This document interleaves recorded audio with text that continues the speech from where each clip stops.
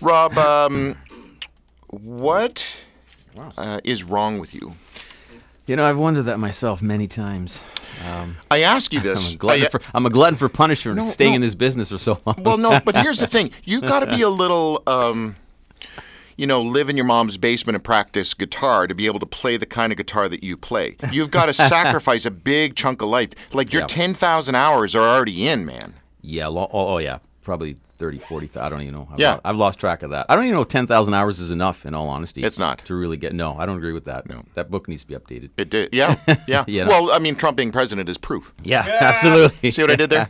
A little low hanging fruit right there on the Drew Marshall show. fruit, Rob, um, uh, you got into this obviously as, as a kid, as an infant. You were playing guitar uh, in the crib. Yeah, you know what? I um, yes, I, I, I this is all I've done all my life, pretty much. In all honesty, I've uh, I'm just lucky, because I have two boys, and I, I see and I teach at various colleges in the city, and I see the struggles people trying to find young people, you know, trying to find their career path, and I. Uh, and I do tell the story. I'm lucky for sure that I knew at a young age what I wanted to do, and I've kind of followed through on that.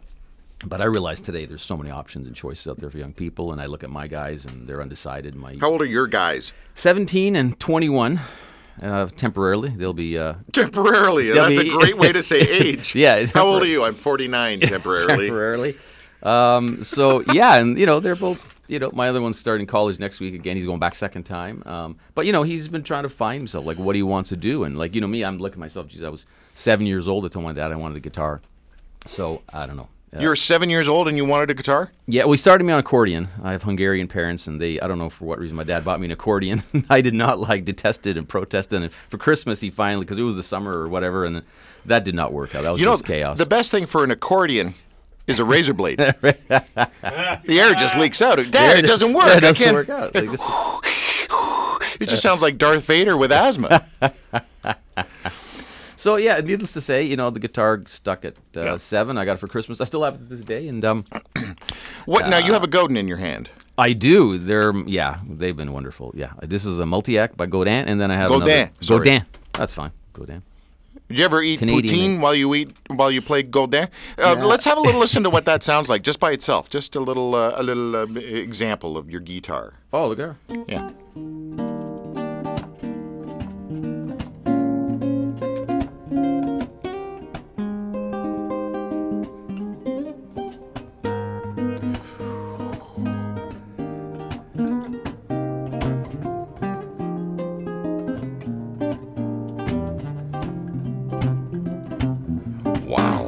Wow. That.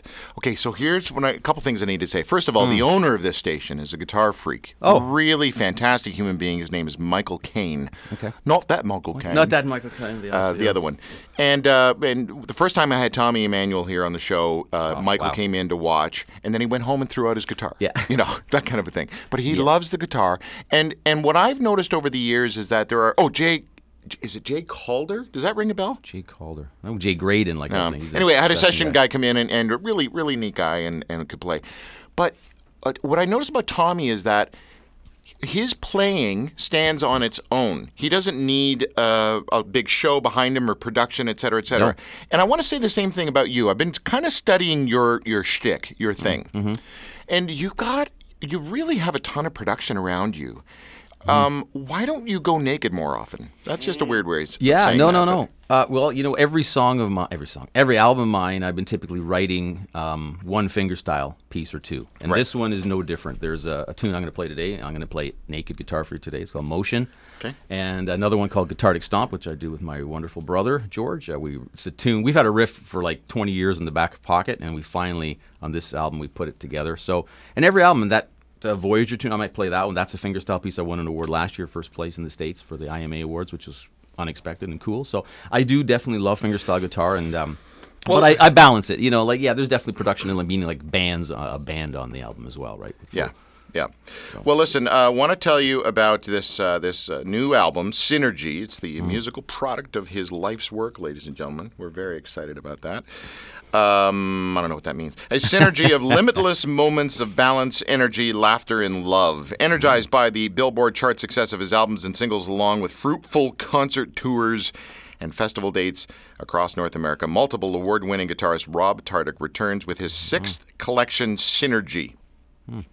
Um, Why? Why? Why? Why synergy? What's uh, uh, look? There's. I know you enough to know there's a story behind the title. Of course, there has to be. I I think we need that right now in the world, the state of the world. When I was looking at this album and where I've come to in my life, and uh, you know, I have that life mantra. You know, Bell has really kind of been the catalyst for me, music-wise. Bell is, stands for uh, balance, energy, laughter, love, which is my kind of the way I, I try to lead my life. I'm trying to, I'm working to achieve balance, energy, and laughter and love in my life, and I think that's my principle. That's my faith in my in my um, existence, I think, and I try to pass that on through my music and my shows. And everything revolves around that mantra. You know what I mean? It's the right time for Bell. You know, moments of Bell. Synergy is balance, energy, laughter, love is a synergy of all these elements coming and working together. You know, so everyone, it's um, every one of my albums. And Limitless is being limitless in our, our lives, you know, taking moments in our lives, taking all the all these things that we you know do in our daily lives and open new doors take risks take adventures. You know don't sit back on your laurels. You know the pain and pleasure anthony robbins i've always i, I bought that cassette tape with my brother when i was just a young wee lad and uh, we listened to that on cassette and it stuck with me this day. It's the pain and pleasure principle. I, I really like that. I, I take the pain route always in life. I always take the pain So route. weird, isn't it? Yeah. Let's just take a moment and explain to the uh, interns, the kids uh, Hmm. here and here, what what a cassette tape is. oh a cassette tape is a i didn't say a track then i really lose it Back in 1970s, Yeah, thanks, thanks, Grandpa Simpson. Um, all right, let's get into a song. Shall we do that? Sure. Uh, first one going to be this one here. oh we can do that one yeah Whatever sure. you feel like. Hope. We're, I mean, we're, we're cued for that, but it doesn't yeah matter. try that one hope that's uh, the We're going to hope this one works. we're gonna hope this one works Um, you know, I always find it interesting when uh, artists um, sort of uh, set up instrumental songs Mm-hmm. with meaning and like Tommy does that a lot. Of and I challenge him on this. It's like, how do you how do you go? Well, this is an instrumental instrumental song, and it's about yeah it's about what the music. What do you mean it's about? Well, the, and I wrote this song Angelina, one of his songs. Yeah. and it's beautiful, beautiful song. But you got to really be able to paint a story before you set up an instrumental song. yeah Can you Really do that? Are you good at that? Or because I suck. Abs- I've been doing it. That's well, like I said, I'm an instrument-based artist for the most part. There are some vocal tracks I write and co- co-write, like I did on this album, but it's you know 80% instrumental music. And yeah, no, there's a vision and uh, you know the theme and uh, a motive and idea and an emotion behind all my music. And ask about any title, and there's a story pretty much behind every single one of them. And hope, you know, these days I think. Like just with what's going on in the world these days, and this is gonna be a single I'm gonna release this year. We really need that hope. We really need that inspiration and because there's been so much uh, division in the, in Yeah, the world lately yeah. so you know i'm trying to embrace diversity bring people together bring that synergy that's the message behind the cd and, and let's hope for the best because we really need a better year than 2017 on a lot of counts Beautiful, beautiful. Ladies and gentlemen, alive on the Drew Marshall Show, Mr. Rob Tardik.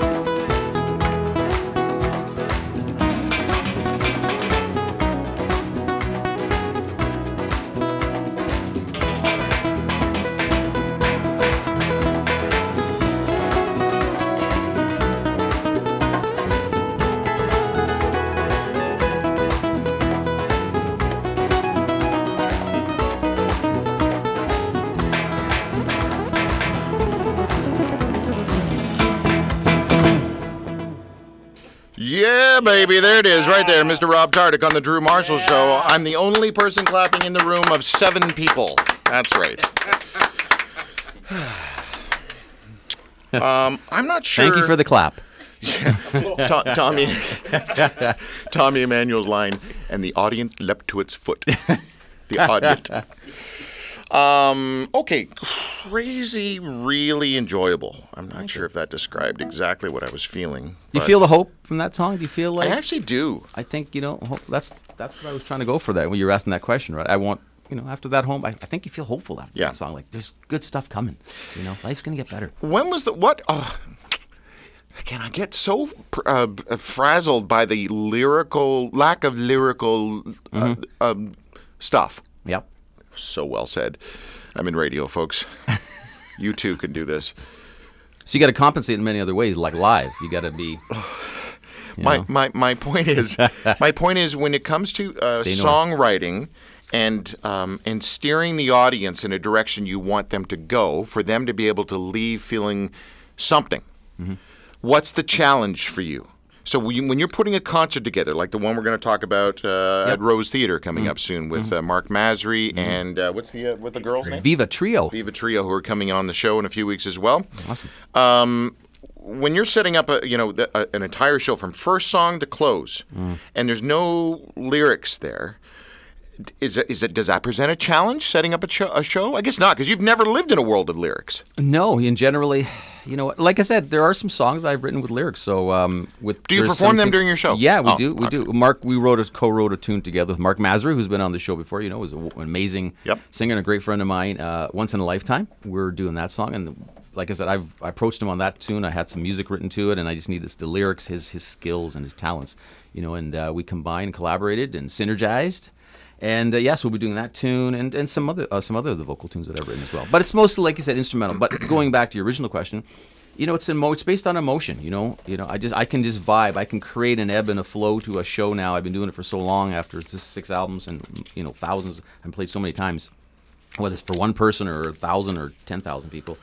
Yeah, I just can feel the dynamics of the audience and what what sh- what songs are going to work. We always have some songs in the queue that we might, you know, we can sub in and out if I'm feeling the audience is kind of a little bit on the, Yeah. you know, they really want an adrenaline kind of tunes. Okay, Yeah. let's cancel that one. That's too like mellow. Let's crank it up. Do you walk out out into the crowd? I do all the time. I jump off the stage, and that's literally. Wow. Do you swing your hair like a hairband? Kind of. You know what? The funny thing is, um, we, me and my drummer had this shtick we were doing like two two albums ago where we put on wigs because I did have a, I went through a rocker phase and a shred me and my brother and like learned the, the Van Halen and the Satriani Really? and Steve Vai guitar. Yeah, and there's actually an album on the uh, album and a song on the album that's dedicated to that style of guitar. It's called SRT. Rob Tardik uh, live in the studio here. Rob, let's do another tune if you don't mind. Sure. Yeah. Okay. What are you gonna do? What's it called? What's it called? A Voyageur. Oui. What's with the French stuff? Golden, Voyageur, Golden, Voyageur. Synergie. Voyager. Voyager, eh? Voyager. Voyager. All right. Again, live on the Drew Marshall Show. Our, our good friend Rob Tardik.